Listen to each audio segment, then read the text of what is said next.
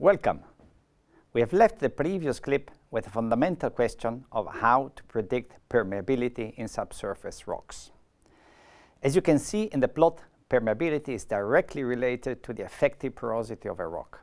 The porosity of a rock is the empty space between the grains. If you look in detail, however, you see that some of the pores are not connected to each other and therefore do not contribute to flow. Connected pores which contribute to flow form the effective porosity. Understanding the origin of porosity and predicting its distribution in subsurface rocks is a major challenge for geologists. Sandstones are relatively simple rocks, and their porosity is in first instance controlled by the degree of sorting, grain size, and compaction.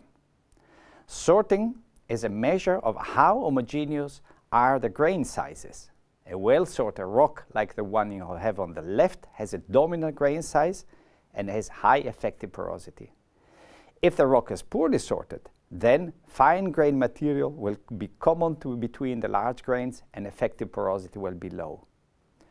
Grain size also plays a major role. Rocks with larger grain sizes have larger pores and have therefore higher porosity. Grain sizes and degree of sorting depend on erosion and sedimentation history of the rock. Compaction is the other very important parameter influencing porosity. The higher the compaction, the lower the porosity. In the plot, you see how the porosity of sandstone changes with depth. When the sand is close to the surface, grains are loose and porosity will be high. With subsidence and increase in overburden, the grains will be packed in a more efficient way and will be slightly deformed. This causes expulsion of water, compaction of the sediment, and as a final result, much lower porosity. Porosity in carbonate rocks is much more complicated because of processes which can create new porosity. Like in the sands we've seen before, porosity can be present between the grains.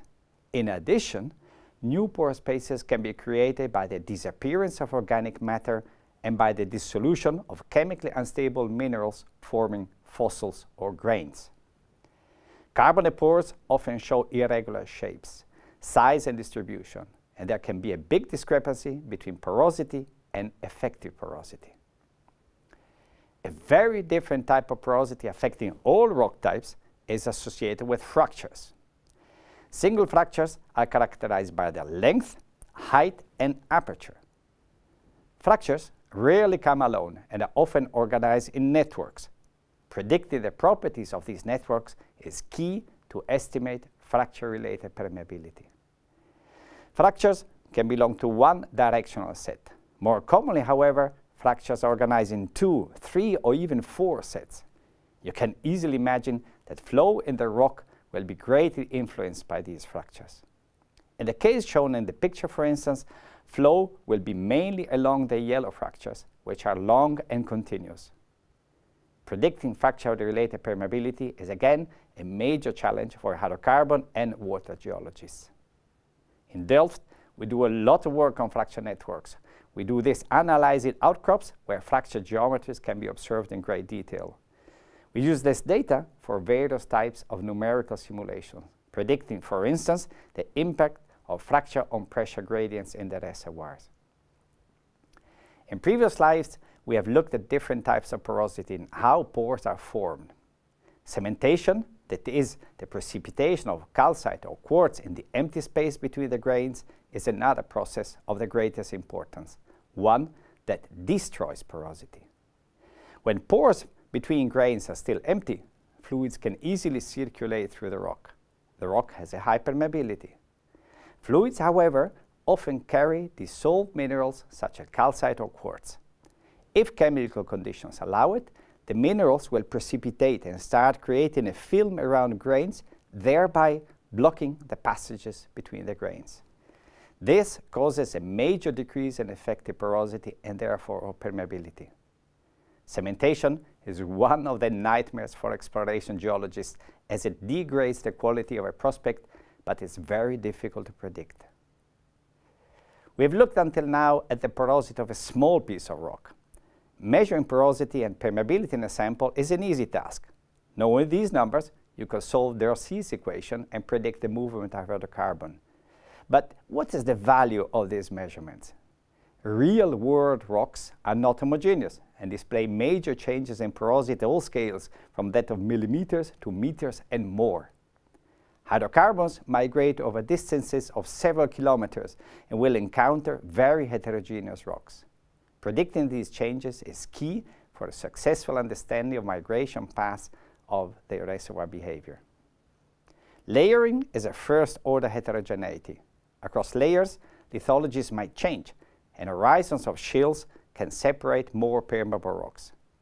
The shale present at the bottom of the outcrop, for instance, are likely to form barriers to flow. In the picture, you also see fractures. These profoundly change the rock permeability, providing efficient paths for fluid. Heterogeneities are present also at larger scales of tens to hundreds of meters. Rocks deposited in fluvial systems, like the one shown in the slide, for instance, often display elongated sand bodies intercalated in more shaly rocks. Flow will be essentially confined to the sandstone bodies.